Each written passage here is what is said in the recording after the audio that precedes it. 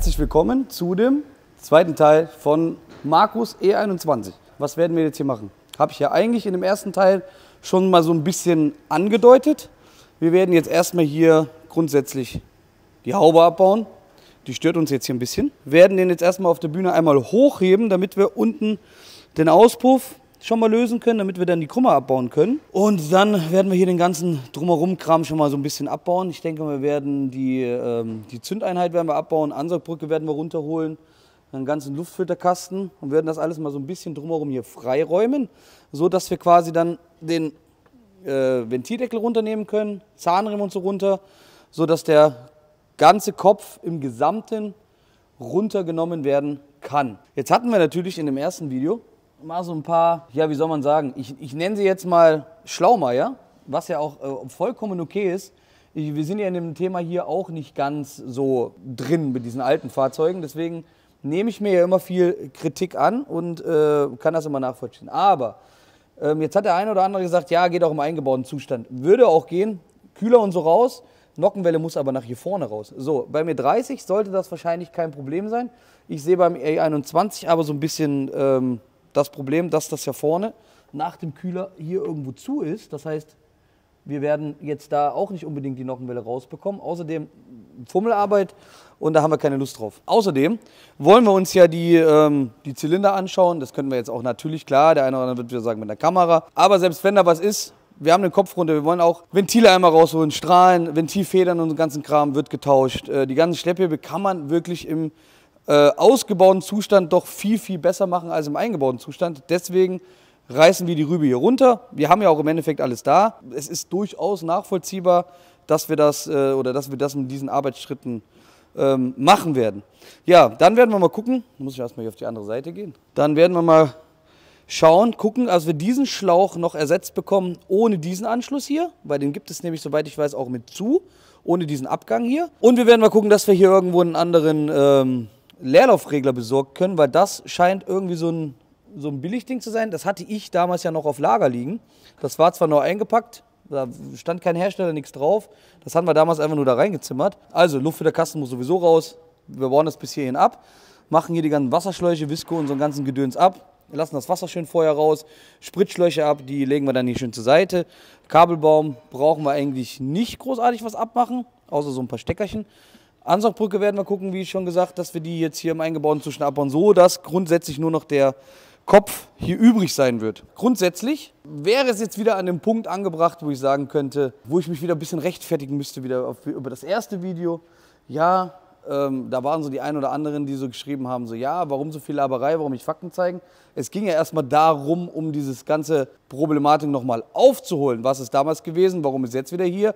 Ähm, und da auch nochmal keine Nachbesserung, also wir reden hier über keine Nachbesserung, sondern wir reden ja hier über eine Veränderung in dem Sinne. Und genauso auch mit diesem äh, von wegen, ich hätte durch die Blume irgendwas gesagt ähm, oder durchkommen lassen und durchsickern lassen, dass ich irgendjemanden oder Marco seinen Prüfstand schlecht machen wollte.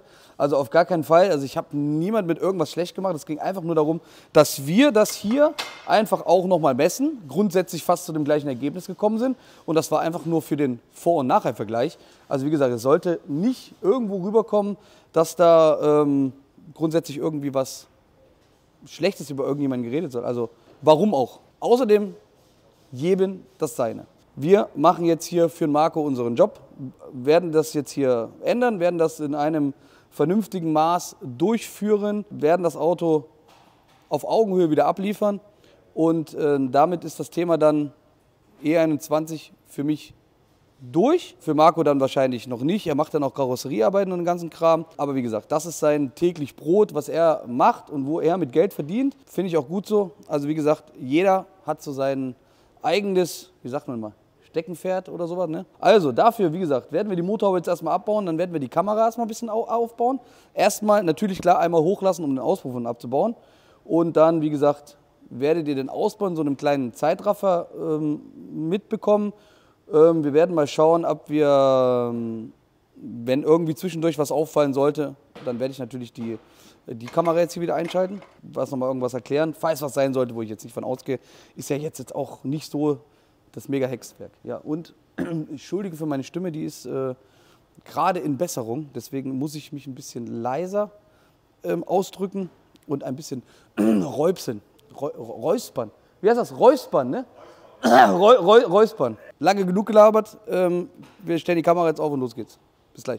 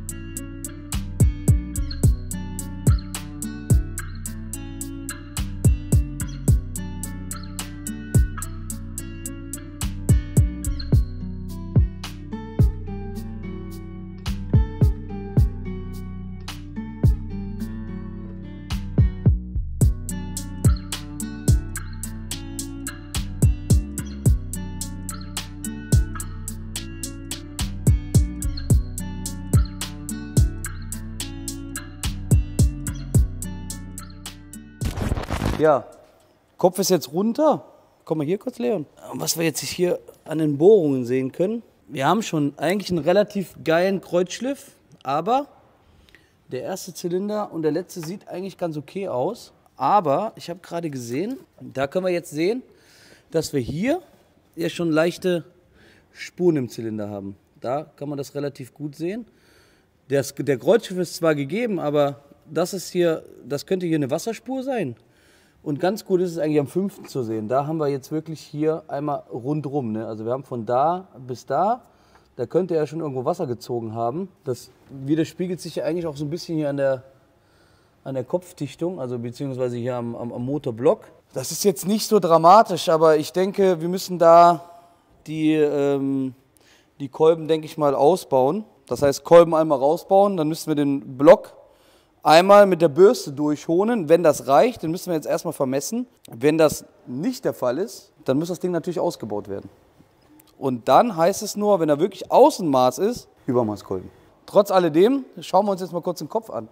Der Leon hat jetzt eigentlich hier schon ganz gut erkannt, dass er am äh, letzten Zylinder, an der Nocke hier oben, da kann man schon wirklich sehen, dass, die, dass sie da an der, an der Nocke eingelaufen ist, genau wie an der vorletzten.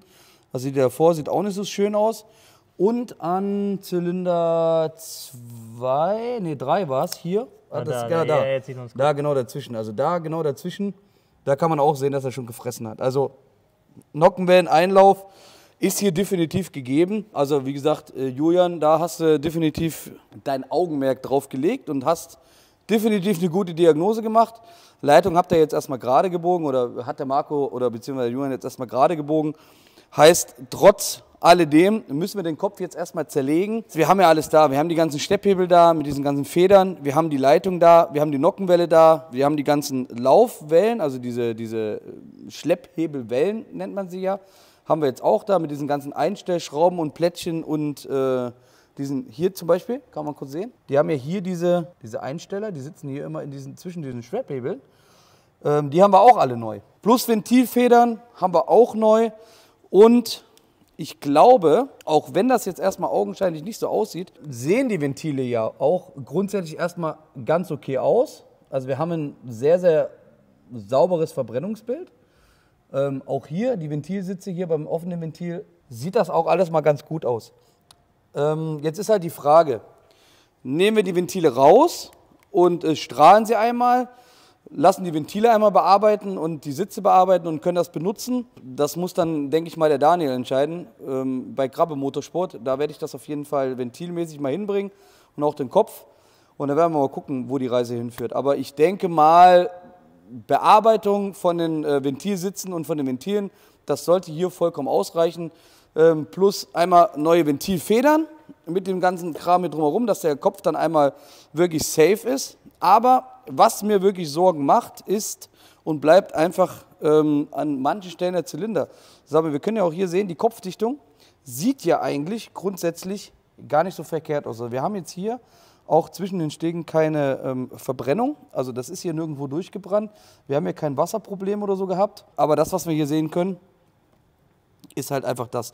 Wir haben relativ viel Rost im, äh, im Wasserkreislauf gehabt. Habe ich auch gesehen beim Kühlwasser. Wir haben, der Motor war ja eigentlich leer mit Wasser, haben neues Wasser eingefüllt, auch mit äh, Frostschutz. Aber wie ihr sehen könnt, ist das natürlich ähm, auch im grundsätzlich jetzt nicht so weit weggegangen. Aber man kann jetzt auch nicht sagen, ne? der Motor hat natürlich auch einiges gelaufen. Es war ein gebrauchter Motor. Wir haben ihn nicht überholt.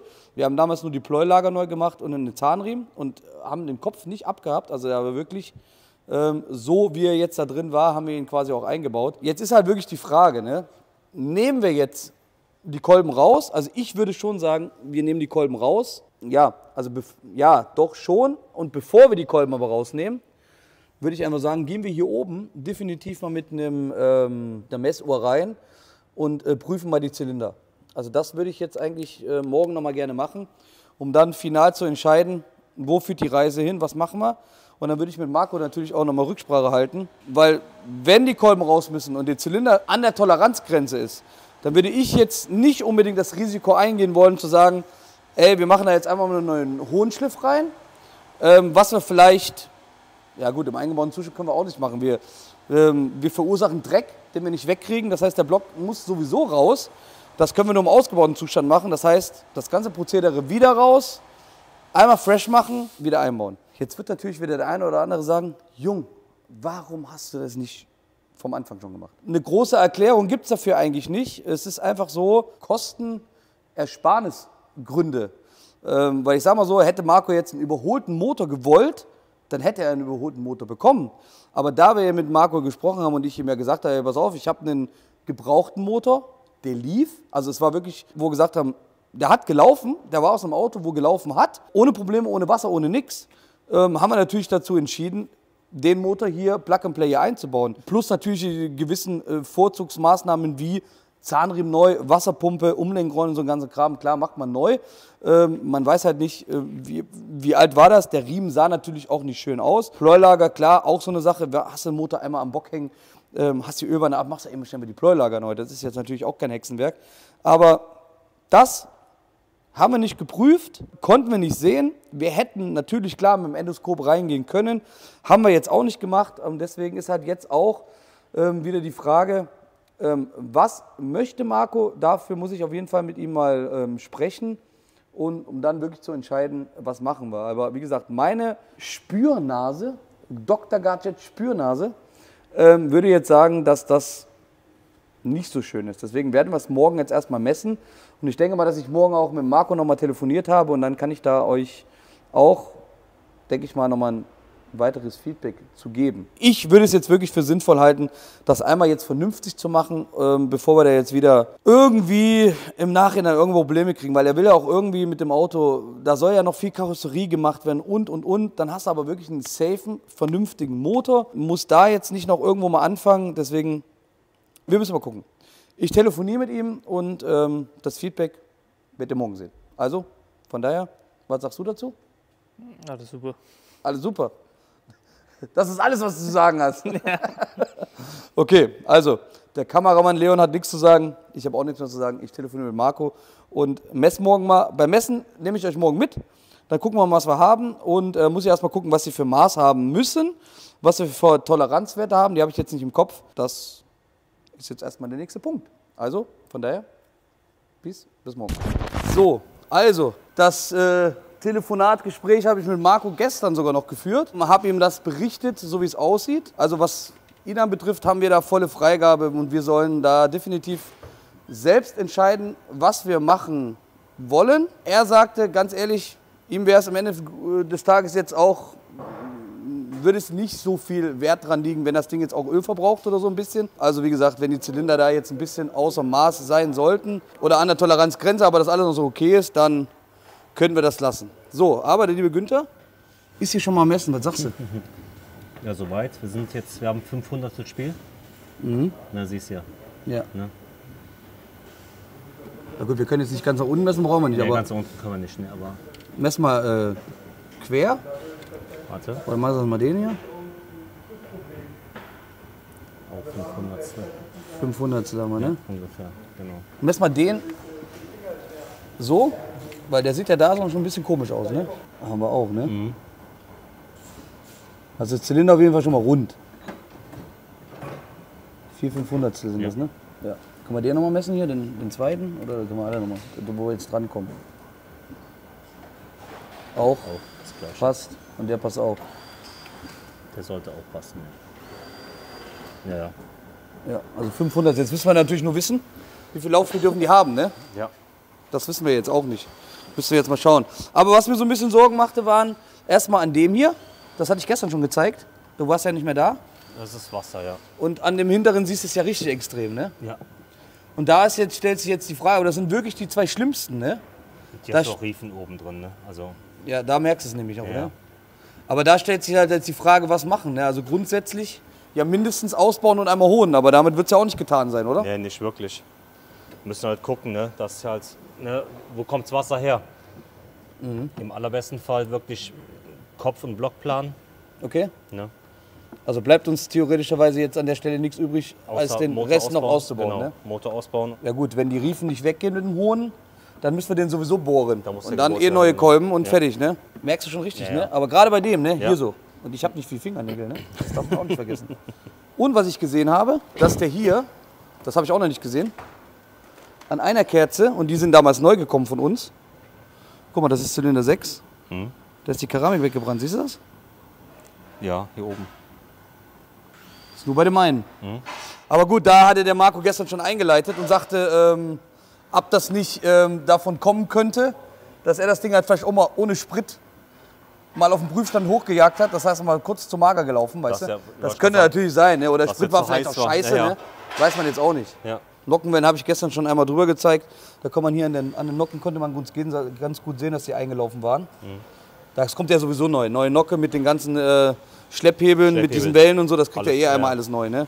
Ventile habe ich jetzt gesagt, machen wir ähm, alle raus, tun die einschleifen und die Sitze einmal nacharbeiten und dann einfach fertig. Ne? Ja. So, dass wir da auch wahrscheinlich keine neue Ventile brauchen. Dann kriegt ihr neue Ventilfedern Ja. und dann ist das sowieso eigentlich soweit fertig. Aber gut, dann habe ich jetzt die Meinung quasi von dir auch und das ist ganz gut. Dann würde ich sagen, holen wir den Block noch da raus. ja. Was soll man machen? Ne? Besser ist das, ja. Ja. Hätte ich das vorher gewusst. Hätte auch mal mit der scheiß äh, Dingens reinleuchten können, ne? Endoskop. Ja. Ja, aber. Gu- Gut, aber weißt du auch nicht, ob du es genau gesehen so hättest, siehst, ne? Das ist, äh, ne. Ja. Aber die anderen, die sahen, also jetzt die beiden, die sahen ähnlich aus wie die beiden. Ja. Also deswegen brauchen wir jetzt auch nicht. Also weit ganz gut, aber wie gesagt, ne, das ist halt Wasser und hier hast du die Riefen drin. ja, aber wie gesagt, wo kommt das Wasser her? Weil wenn du die Kopfdichtung anguckst, der hat nicht dadurch gefeuert, nee, ne? Nee. ne? Also das sieht nicht aus, ob der durchgebrannt hat. Das sieht doch sowieso, warum ist der so verrostet? Warum ist da so rostiges Scheißwasser drin? Der Motor war leer mit Wasser und wir haben da neuen Frostschutz alles reingefüllt damals, ne? Okay. Gut, vielleicht waren da noch irgendwelche Rückstände drin. hab Weil das Wasser, was wir rausgeholt haben, sah gut aus. Also das war wirklich noch äh, so blau, also blau, ne? Mhm. War noch nicht so lange drin. Ein Jahr jetzt quasi, ne? Wir bauen den Motor jetzt aus, dann Kolben und alles raus, dann schauen wir uns hier auch nochmal an und dann ist der Teil 2 von der Geschichte eigentlich dann auch schon mal fertig, ne? Ja. Richtig. Gibt es vielleicht noch ein paar Überraschungen. Wir schauen mal, was wir dem Marco hier einbauen. Vielleicht wird es ja ein V8 oder so. Nein. okay, also bis später. Ciao, ciao.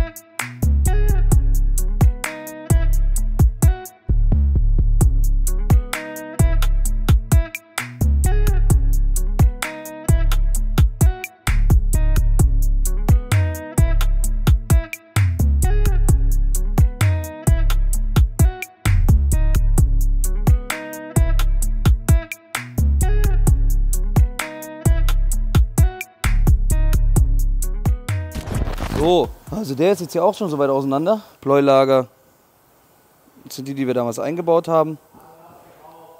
Sind auch voll in Ordnung. Auch hier die Lagerstellen. Alles sieht pico aus. Jetzt haben wir hier noch den, die Kolben. Die haben hier unten am Kolbenhemd an der Beschichtung ein bisschen Druckstellen. Aber der eine mal mehr, der andere mal ein bisschen weniger. Der ist wieder ein bisschen mehr. Die müssen jetzt alle mal waschen. Die müssen alle mal gewaschen werden. Und dann schauen wir mal. Jetzt haben wir hier noch den ganzen Kladderadatsch, den haben wir erstmal ausgebaut. Das muss alles einmal durchgewaschen werden. Kopf zerlegt, Ölwanne, dies, das, einmal alles raus. Den Kopf habe ich auch schon zerlegt hier soweit. Also Ventile sind jetzt raus, Federn, alles Pico. Jetzt so. Kann man aber hier sehen, dass die definitiv hier nachgearbeitet werden müssen. Also zumindest alle Auslässe Ne, die sehen nicht mehr so schön aus. Die Einlässe gehen noch, die kann man mal ein bisschen, könnte man ein bisschen mit Pasta einschleifen, dann würde das wahrscheinlich wieder funktionieren. Ventilmäßig auch, also hier hat er schon, die muss er schon definitiv ein bisschen vorbeigepfiffen haben. Ganz minimal, sieht man das hier. Das heißt, ich denke, die Ventile machen wir jetzt allererstes mal waschen, dann strahlen wir die ganze Kacke und dann werden die alle nochmal neu komplett Sitze bearbeitet und Ventile bearbeitet. Neue Ventile brauchen wir hier jetzt in dem Fall nicht nehmen. Aber auch alle Bolzen haben wir jetzt hier rausgenommen. Nockenwellen, Lagergasse, äh, sieht alles super aus. Das heißt, wir können das jetzt, wie gesagt, einmal durchwaschen. Was wir natürlich jetzt am Ende des Tages mit dem Block machen, das werden wir, das weiß ich noch nicht so ganz genau. Kolben hätte ich noch gebraucht, der andere da, die sehen grundsätzlich gleich aus. Ich muss mal gucken, ähm, wie gesagt, jetzt können wir die Bohrung mal vernünftig messen ähm, bis unten hin und dann können wir mal, werden wir uns mal die Werte alle aufschreiben. Ähm, das sieht dann am Ende des Tages so aus. So misst man das natürlich. Ne? Oben, Mitte, unten. Ne? Einmal längs und einmal quer. Ne? Hat der Daniel Grabber hat hier so ein schönes Messprotokoll und da kann man hier schön die Werte sehen. Hier sehen wir, dass die eigentlich grundsätzlich alle gleich sind. Ne, hier auch, Zylinder 5 ist eigentlich auch gleich, ein bisschen, bisschen anders im Gegensatz zu Zylinder 1, aber das passt. Und so werden wir das auch machen. Wir werden das auch ähm, da schön aufschreiben und dann werden wir entscheiden. Dann gucken wir in, äh, in der Tabelle oder beziehungsweise nach den Richtlinien, wie das sein soll. Und dann werden wir mal entscheiden, ob wir einfach nur mal durchhonen oder ob wir ähm, den bohren müssten. Das glaube ich aber jetzt nicht. Ich denke mal mit Hohnen und neuen Kolbenringen ist es definitiv getan. Neue Kolbenringe habe ich da. Der Rest erklärt sich ja quasi von selber. Wir machen jetzt hier nur noch Waschprozedere. Da nehme ich euch natürlich jetzt nicht mit. Ich hoffe, ihr konntet jetzt vom zweiten Teil wieder so ein bisschen was mitnehmen, habt ein bisschen was gesehen. Dann würde ich einfach mal sagen, seid gespannt auf Minimum Teil 3, weil es wird wahrscheinlich auch noch einen Teil 4 geben, weil ich glaube nicht, dass wir jetzt, da es jetzt doch so umfangreich war, dass jetzt alles in einem Teil wieder zusammenbauen, fertigstellen mit Einbau und Prüfstand. Das würde wahrscheinlich zu lange gehen, deswegen werden wir das wahrscheinlich auch nochmal splitten. Auch vorab, bevor jetzt wieder so viele mega negative Kommentare kommen, die wir mittlerweile sowas von ah, hier hinten war er gerade, den Rücken runterrutschen. Also ganz ehrlich, spart euch diese dummen Kommentare einfach. Also Kommentare super, auch äh, negative, also Kritikkommentare, warum, weshalb, Fragen stellen. Alles gut, nehmt alles, aber schreibt nicht irgendwelchen Bullshit, wo ihr keine Ahnung von habt. Das ist alles mit Marco geklärt und alles ist in einer, äh, äh, in einer Linie und keiner weiß mehr darüber Bescheid als wir beide. Theoretischerweise hätten wir uns diese ganze Vorgeschichte mit dem Umbau sparen können. Wir hätten ja den Motor damals schon zerlegen können und hätten das dann schon alles machen können und hätten da schon sehen können, dass die Nockenwelle eingelaufen ist. Ja, ist richtig, aber muss ich auch wieder einlenken. Man sieht es halt tatsächlich nicht an jeder Stelle. Ne? Also nicht jede Nocke ist hier eingelaufen, wie ihr seht. Da, die sieht zum Beispiel super aus. Jetzt kann ich natürlich nicht mehr ganz genau beschwören, wie hat die Nockenwelle gestanden, wo wir den Ventildeckel getauscht haben, weil der Ventildeckel war ab. Der Marco wollte ja seinen Chromdeckel da drauf haben. Wie gesagt, vielleicht ist uns das auch mit dieser Ölleitung passiert, dass sie verbogen war. Oder, oder, oder, kann man jetzt alles nicht sagen. Wie gesagt, Kind ist da in Brunnen, äh, Brunnen gefallen gewesen. Grundsätzlich hätte man das alles machen können, aber ich sage euch ganz klar, so wie es ist. Marco hätte das definitiv damals nicht gewollt und hätte direkt gesagt, nein, dann äh, lasse ich den Motor nicht umbauen. Ähm, dann muss ich halt irgendwie gucken, dann stelle ich die Karre in die Ecke oder ich äh, baue, gucke, dass wir diese äh, Kajedroniger, wie das Ding nochmal hieß, äh, dass ich die ans Laufen kriege, weil das wäre ihm definitiv zu viel Aufwand gewesen. Ne? Wie gesagt, klar, jetzt ist es so, jetzt war ja soweit eigentlich alles fertig. Wir haben hier einen relativ ja, geringen Kostenfaktor. Also, wie gesagt, lange Rede, kurzer Sinn. Äh, Es ist auch im Endeffekt scheißegal. Wir machen es jetzt und haben es damals nicht gemacht und alles ist gut. Seid gespannt und freut euch auf Teil Nummer 3. Und ähm, wie gesagt, ich wasche den ganzen Kram. Wir sehen uns beim nächsten Mal. Haut in die Tasten mit euren, was auch immer für Kommentare. Bis und bis zum nächsten Mal.